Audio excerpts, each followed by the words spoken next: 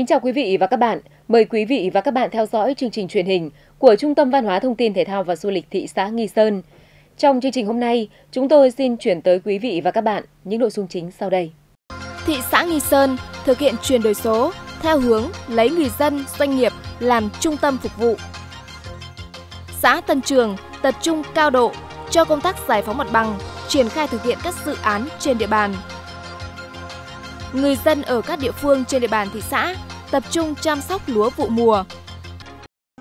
Ngày 29 tháng 7, Liên đoàn Lao động thị xã Nghi Sơn tổ chức trao quà của Liên đoàn Lao động tỉnh Bắc Ninh cho đoàn viên công đoàn là công nhân viên chức lao động có hoàn cảnh khó khăn trên địa bàn thị xã Nghi Sơn. Dự buổi trao quà có đồng chí Nguyễn Thị Vân Hà, tỉnh ủy viên, Chủ tịch Liên đoàn Lao động tỉnh Bắc Ninh, đồng chí Mai Bá Nam, Phó Chủ tịch Liên đoàn Lao động tỉnh Thanh Hóa. Về phía thị xã Nghi Sơn có các đồng chí Trương Bá Duyên, Phó Bí thư Thường trực Thị ủy, Nguyễn Văn Long, Ủy viên Ban Thường vụ, Trưởng Ban Dân vận Thị ủy, Chủ tịch Ủy ban Mặt trận Tổ quốc thị xã. Trong những năm qua, các cấp công đoàn thị xã Nghi Sơn đã có nhiều cố gắng trong tổ chức các hoạt động thăm hỏi, hỗ trợ cho công nhân viên chức, người lao động có hoàn cảnh khó khăn như hỗ trợ xây dựng và sửa nhà mái ấm, chương trình Tết xung vầy. Nhưng trên địa bàn thị xã Nghi Sơn vẫn còn nhiều đoàn viên công đoàn có hoàn cảnh khó khăn. Với tình cảm và sự quan tâm, chia sẻ của Liên đoàn Lao động tỉnh Bắc Ninh đã trực tiếp trao 50 xuất quà cho 50 người là công nhân, viên chức, người lao động có hoàn cảnh khó khăn trên địa bàn thị xã. Mỗi xuất quà trị giá 1 triệu đồng. Phát biểu tại buổi trao quà, đồng chí Trương Bá Duyên, Phó Bí thư Thường trực Thị ủy, gửi lời cảm ơn sự quan tâm, động viên của Liên đoàn Lao động tỉnh Bắc Ninh tới đoàn viên công đoàn trên địa bàn thị xã để chương trình tiếp tục được phát huy nhân rộng tính nhân văn và lan tỏa trong mỗi tổ chức công đoàn, người lao động và cộng đồng dân cư trên địa bàn thị xã trong thời gian tới. Đồng chí Phó Bí thư Thường trực Thị ủy đề nghị. Tôi đề nghị là đối với đoàn viên công nhân viên chức lao động là tiếp tục phát huy truyền thống đoàn kết, tương thân tương ái, hỗ trợ giúp đỡ đoàn viên người lao động có hoàn cảnh khó khăn để vươn lên trong lao động và công tác thứ hai là tuân thủ và thực hiện tốt các quy định của pháp luật, nội quy quy chế của cơ quan đơn vị để thực hiện tốt các mục tiêu, nhiệm vụ của cơ quan đơn vị đề ra và đồng hành gắn bó cùng cơ quan đơn vị và doanh nghiệp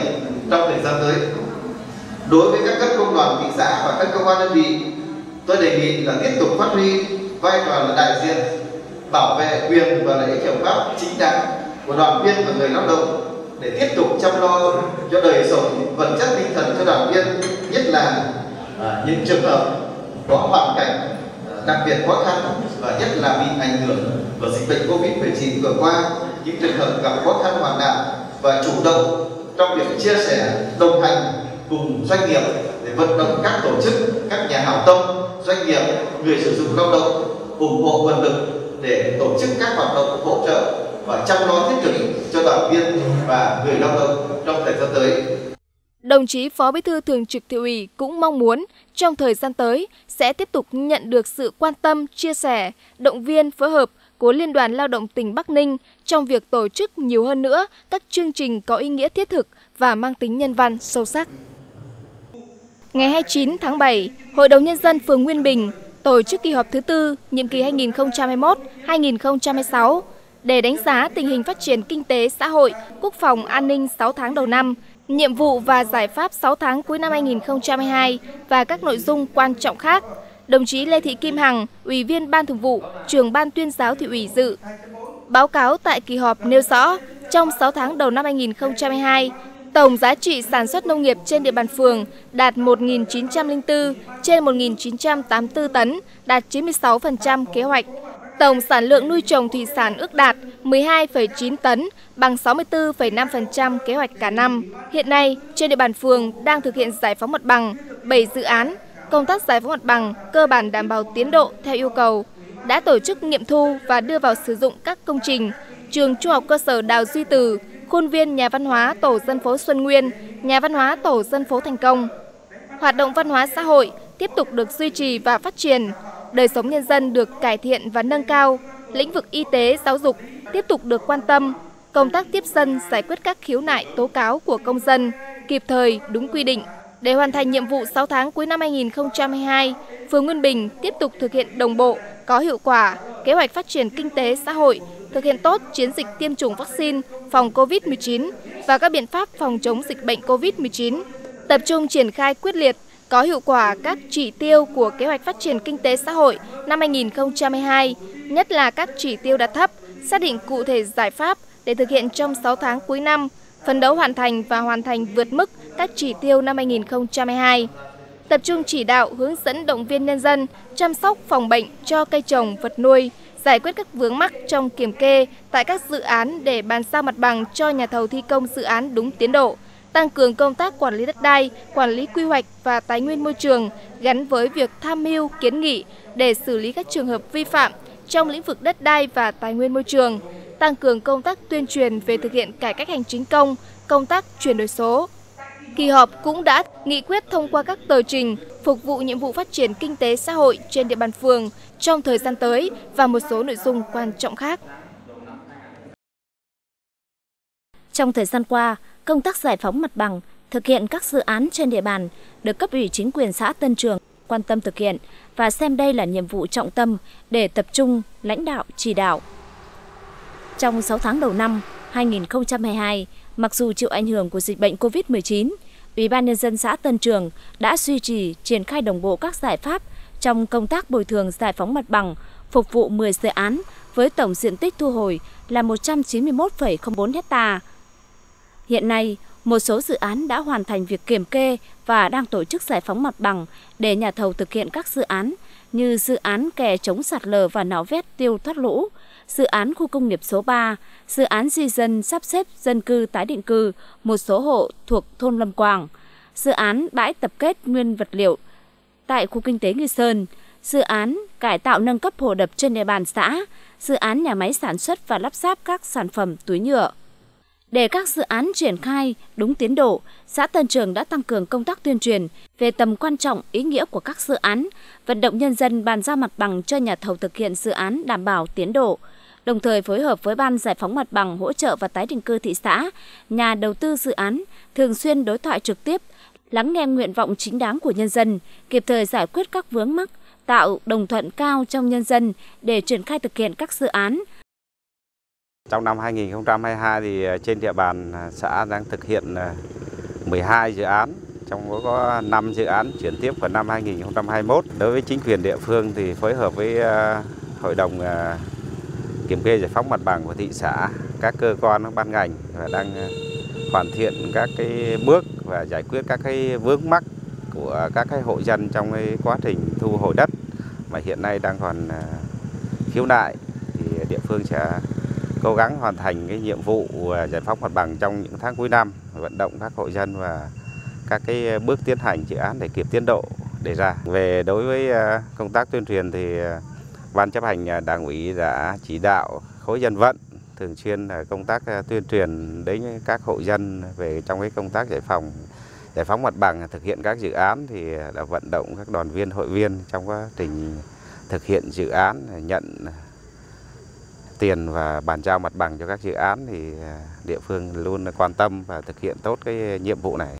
Thưa quý vị và các bạn, chuyển đổi số là quá trình thay đổi tổng thể và toàn diện của cá nhân tổ chức về cách sống, cách làm việc và phương thức sản xuất dựa trên các công nghệ số. Chuyển đổi số không chỉ giúp tăng năng suất, giảm chi phí mà còn mở ra không gian phát triển mới, tạo ra các giá trị mới ngoài các giá trị truyền thống vốn có. Với ý nghĩa đó, thị xã Nghi Sơn đã và đang tập trung lãnh đạo, thực hiện các nhiệm vụ nhằm đẩy mạnh chuyển đổi số theo hướng lấy người dân, doanh nghiệp làm trung tâm phục vụ.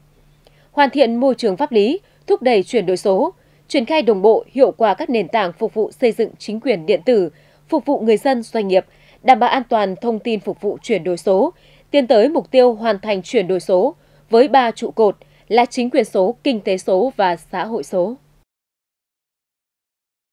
Thực hiện các văn bản chỉ đạo của cấp trên, Ủy ban nhân dân thị xã đã tham mưu cho Ban Thường vụ thị ủy Nghi Sơn ban hành kế hoạch hành động số 70 KHTU ngày 4 tháng 3 năm 2022 về thực hiện nghị quyết số 06 NQTU ngày 10 tháng 11 năm 2021 của Ban Thường vụ tỉnh ủy về chuyển đổi số trên địa bàn tỉnh Thanh Hóa đến năm 2025,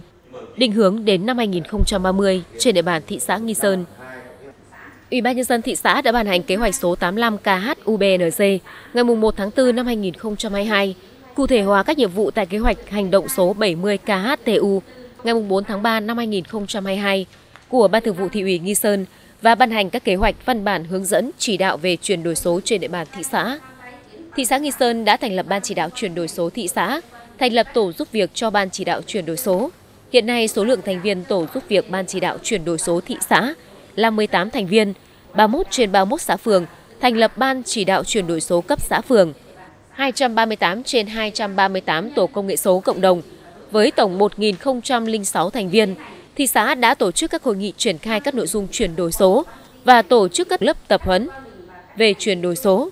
đồng thời tăng cường công tác thông tin truyền thông qua nhiều hình thức, qua hệ thống đài truyền thanh thị xã, đài truyền thanh các xã phường, tuyên truyền trực quan nhất là trên môi trường số, để các cơ quan doanh nghiệp, cán bộ, đảng viên và nhân dân trên địa bàn thị xã nhận thức đầy đủ và tạo sự đồng thuận cao trong thực hiện chuyển đổi số, xây dựng các chuyên mục tuyên truyền về kế hoạch và kết quả thực hiện chuyển đổi số của các ngành, các xã phường trên cổng thông tin điện tử và trang thông tin điện tử của các cơ quan đơn vị.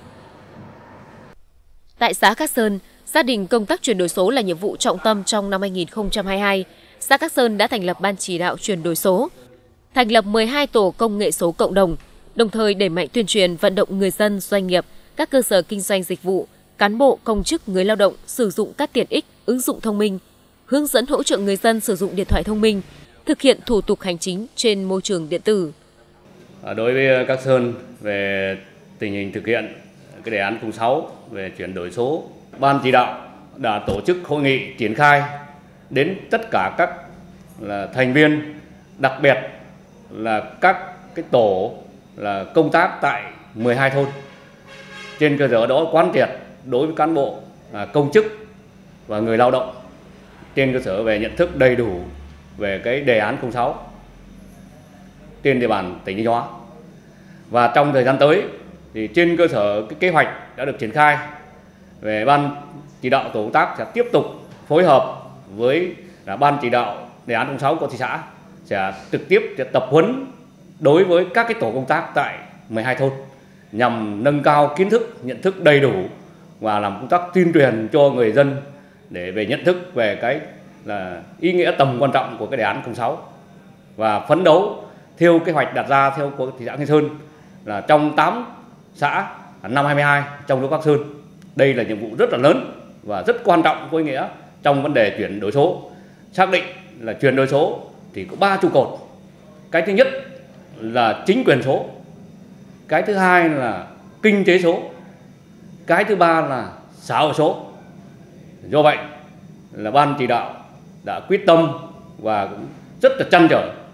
và cũng rất mong được là ban chỉ đạo chuyển đổi số của thị xã sẽ tăng cường công tác phối hợp, đặc biệt là công tác tập huấn cầm tay chỉ việc để rồi là cán bộ và nhân dân các sơn sẽ thực hiện hoàn thành cái chỉ tiêu được Ủy ban thị xã và ban chỉ đạo chuyển đổi số thị xã giao năm 2022. Là một trong 8 xã phường được thị xã Nghi Sơn lựa chọn giao chỉ tiêu hoàn thành chuyển đổi số trong năm 2022, phường Tân Dân đã và đang quan tâm phát triển hạ tầng kỹ thuật, tập trung đầu tư các trang thiết bị phục vụ chuyển đổi số. Thì trong thời gian tới thì, thì phường là tiếp tục là tuyên truyền để nhân dân thực hiện cái số hóa trên cái môi trường là, số à, theo cái nghị quyết của Hội đồng nhân dân là năm 2022 tân dân là phải chuyển đổi số thành công là 100% người dân là thực hiện cái số hóa trên môi trường điện tử. Chúng tôi tiếp tục phối hợp và lồng ghép các cái chỉ tiêu nhiệm vụ giải pháp vào kế hoạch tổng thể giai đoạn của địa phương để triển khai thực hiện À, có hiệu quả đáp ứng yêu cầu à, được giao. À, Giả soát, nâng cao, hoàn thiện hồ sơ công nghệ thông tin tiếp tục là hoàn thiện cơ sở dữ liệu được giao quản lý kết hợp kết nối với cơ sở dữ liệu quốc gia với cơ sở dữ liệu khác sử dụng định danh cá nhân điện tử tài khoản định danh điện tử để thực hiện thủ tục hành chính trên môi trường điện tử bảo đảm bí mật an toàn an ninh thông tin các cơ quan đơn vị doanh nghiệp đóng trên địa bàn quản lý tích cực phối hợp với lực lượng công an thực hiện có hiệu quả nội dung về triển khai thực hiện đề án tăng cường sự tham gia của người dân và doanh nghiệp vào hoạt động của cơ quan nhà nước, tiếp tục thực hiện đổi mới cơ chế một cửa một cửa liên thông trong giải quyết thủ tục hành chính và số hóa có kết quả giải quyết thủ tục hành chính. Trong tiếp nhận giải quyết thủ tục hành chính theo cái nghị định số 107 của Thủ tướng Chính phủ và quyết định số 468 ngày 27 tháng 3 năm 2021 của Thủ tướng Chính phủ về cái vấn đề này để tân dân là tiếp tục à, thực hiện đảm bảo cái à, pháp lệnh mà Ủy ban nhân dân thị xã giao về thực hiện chuyển đổi số trong cái thực hiện cái nhiệm vụ phát triển kinh tế, văn hóa xã hội cũng như là đảm bảo quốc phòng an ninh trên địa bàn phường Tân Dân. Được sự quan tâm của cấp ủy Đảng, chính quyền trong công tác chuyển đổi số, thời gian qua công tác thông tin tuyên truyền được đẩy mạnh, nhận thức của người dân doanh nghiệp về chuyển đổi số được nâng cao. Một số địa phương người dân doanh nghiệp chủ động trong ứng dụng các phần mềm công nghệ thông tin vào hoạt động chuyên môn, sản xuất kinh doanh của đơn vị, góp phần thúc đẩy chuyển đổi số trên địa bàn thị xã. Bên cạnh kết quả đạt được, công tác chuyển đổi số trên địa bàn thị xã còn nhiều khó khăn như một số cơ quan đơn vị và địa phương chưa nhận thức đúng đắn và đầy đủ về vai trò, tầm quan trọng của công nghệ thông tin và công tác chuyển đổi số. Nguồn nhân lực phát triển công nghệ thông tin và thúc đẩy chuyển đổi số trên địa bàn thị xã còn hạn chế. Sự tham gia của doanh nghiệp, người dân trong phát triển công nghệ thông tin và thực hiện chuyển đổi số chưa được mạnh mẽ. Hạ tầng công nghệ thông tin được đầu tư thiếu đồng bộ gây khó khăn cho việc triển khai ứng dụng, phát triển công nghệ thông tin. Chính vì vậy, để hoàn thành mục tiêu chuyển đổi số rất cần sự vào cuộc quyết liệt của Đảng bộ, chính quyền, người dân, doanh nghiệp cùng tham gia vào công tác chuyển đổi số, tạo đà thúc đẩy tất cả các lĩnh vực của đời sống kinh tế xã hội phát triển theo hướng hiện đại, nỗ lực phấn đấu đến năm 2025 xây dựng thị xã Nghi Sơn, khu kinh tế Nghi Sơn trở thành trung tâm kinh tế, đô thị động lực của tỉnh và khu vực. Đến năm 2030 trở thành một trung tâm kinh tế, đô thị ven biển trọng điểm của cả nước.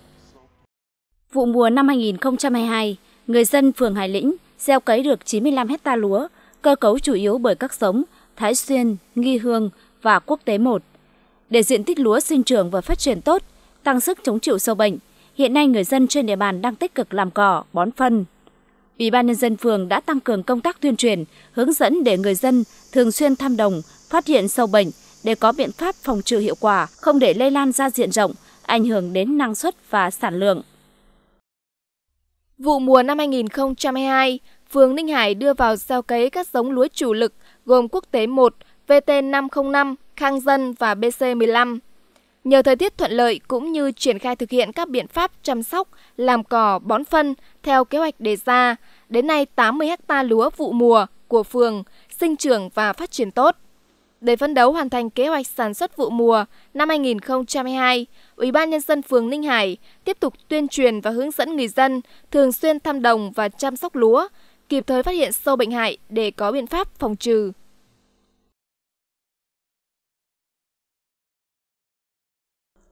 Tại xã Hải Nhân, vụ mùa năm 2022, người dân gieo trồng hơn 297 ha lúa với cơ cấu giống chủ yếu gồm lúa thơm và khang dân. Hiện nay, Ủy ban nhân dân xã đã và đang làm tốt công tác tuyên truyền, phân công cán bộ chuyên môn, bám sát cơ sở, hướng dẫn các biện pháp chăm sóc, phòng trừ sâu bệnh hiệu quả, nhất là theo dõi chặt chẽ diễn biến của thời tiết để có biện pháp bảo vệ lúa mùa.